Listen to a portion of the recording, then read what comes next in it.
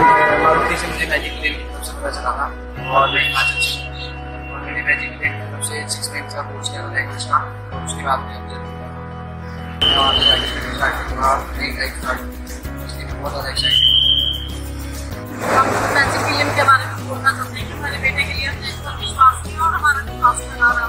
ये बहुत अच्छा है इनके साथ जुड़े रहे आपके बच्चों के लिए किस तरह हम टीचिंग करते हैं इसमें बहुत अच्छा और भी काफ़ी उनको रिकमेंड करूँगा ये जो बात है काफ़ी अच्छा स्कूल है